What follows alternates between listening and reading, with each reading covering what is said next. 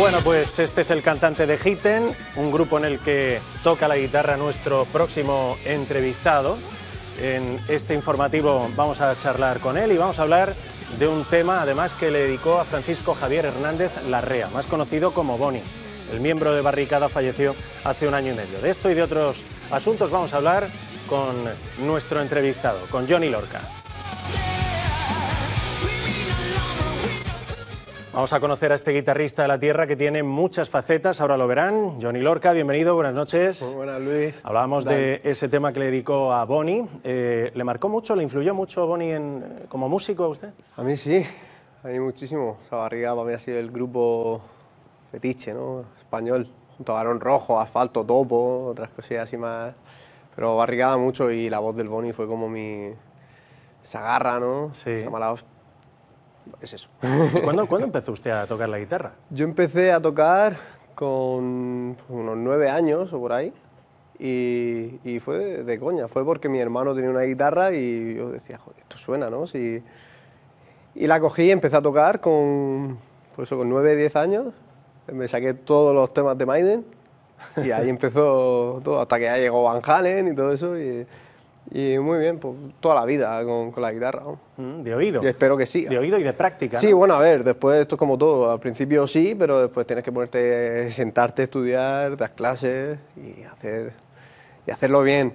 Que no, Sí. todo es, no todo es ser un salvaje de la vida. Dar clases, una de las facetas eh, suyas que comentamos es la de, la de dar clases, ¿no? La de ser profesor.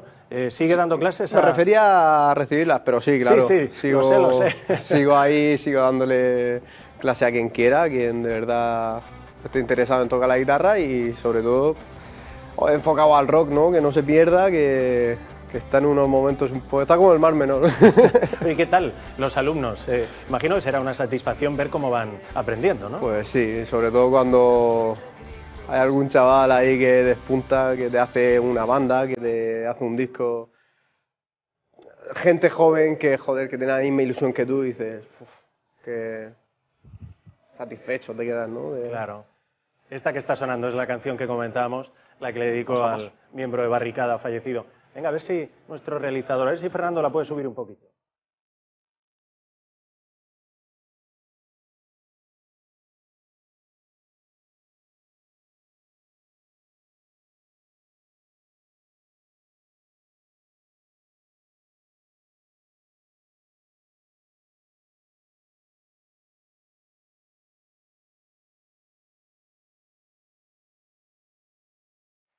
¿Cómo, ¿Cómo se aprende a tocar la guitarra? Nos lo acaba de ya mm, deslizar, pero eh, ¿qué consejo le daría a quienes nos están viendo ahora mismo y dicen, oye, pues me gustaría aprender a tocar la guitarra?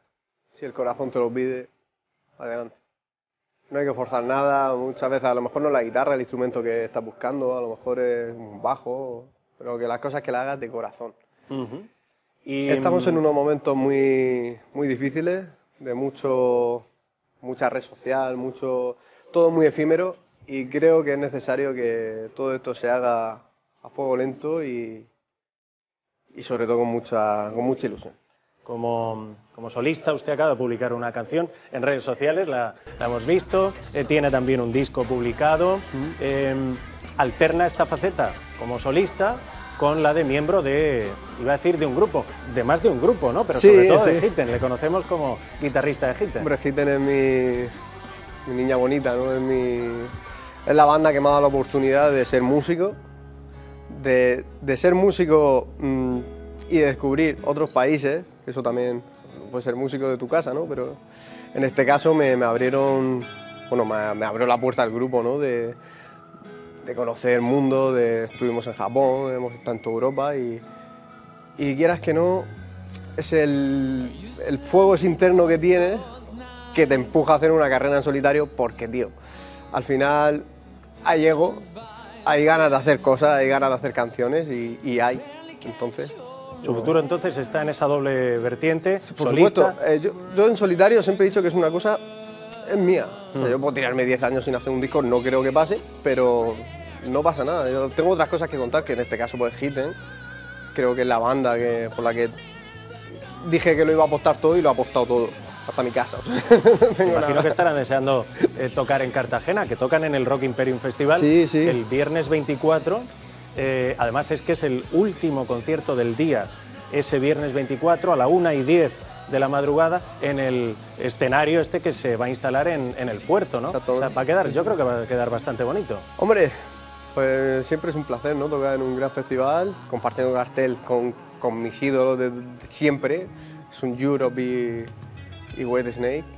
Y bueno, y Scorpion y Zack White y un montón de gente que pasa por ahí. Y siempre es un placer, ¿no? Enorme. ¿Y qué, qué, qué están preparando? ¿Cómo tienen pensado?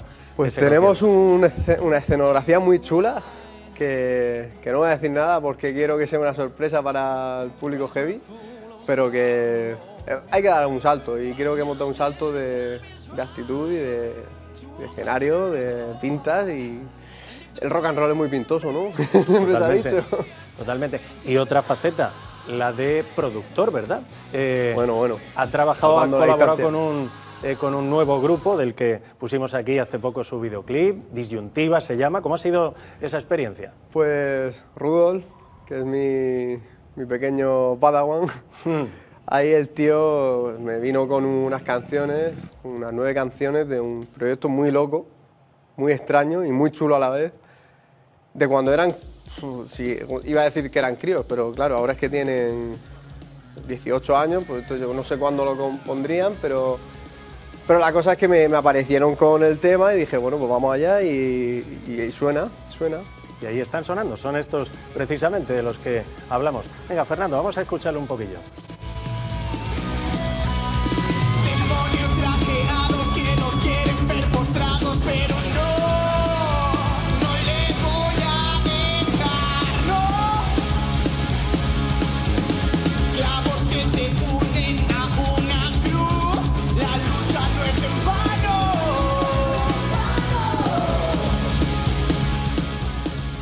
Son el relevo generacional, aunque usted tiene 28 años, pero ya son relevo generacional, ¿no? Hombre, claro, si ya han pasado 10 años ya. Pero vamos, es un orgullo para mí que, que, que hayan chavales que, joder, que en cierto modo han, ha sido su ídolo, ¿no? Eh, O te, te tienen en ese alto estima que, que, joder, macho, cuando te vienen ahí con un disco así, o cuando el disco suena así porque ha habido sinergia entre los dos, si no, nunca hubiera sonado, porque yo es el primer disco que hago, no, no soy productor en sí. He producido esto, pero no soy un productor, ni mucho menos. Pero joder, cuando te sale una cosa así de bonita y de, con, tanto, con tanta sinceridad, bueno, eso no está pagado. Oye, ¿y ¿se puede vivir de la música? ¿Te soy sincero? no. Sí, no se puede, ¿verdad? Los no tiempos que corren. Salvo se que... puede sobrevivir con la música, Ujú. pero vivir así como tal, por lo menos yo no me lo he encontrado. Conozco a gente que sí, pero cada vez somos menos. Y tiene que ser al contrario, cada vez tiene que ser más. Y esto tiene que ser. eh, esto es reivindicación, ¿no? O sea, tiene que ser. Joder, ¿por, por- por qué ya no hay. ¿Por qué no tenemos otra etapa dorada? ¿Por qué, qué pasa? Ya se ha quedado en los 80, tío, ya estamos en el 2022. Yo ya escuchaba esto en el 2010, cuando empecé a girar, o a, salir por los escenarios, ¿no? Por los bares. Ya escuchaba que los 80, sí, sí, sí, pero es que ahora estamos en el 2022 y sigue, eh, seguimos diciendo que los 80. ¿Cuándo viene el relevo? ¿Cuándo, ¿Cuándo es la oportunidad?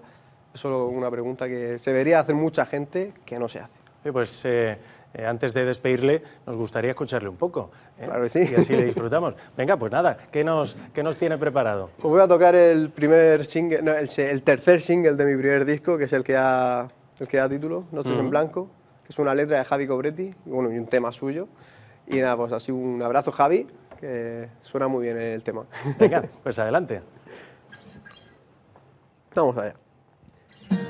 Una señal en el cielo me indicó un camino escondido directo a tu corazón. Y viajé en el tiempo para salvar nuestro amor. Y bajé hasta el infierno para entender tu dolor. Quiero ser tu héroe de acción, rescatar tu cuerpo del dragón. Como un espectro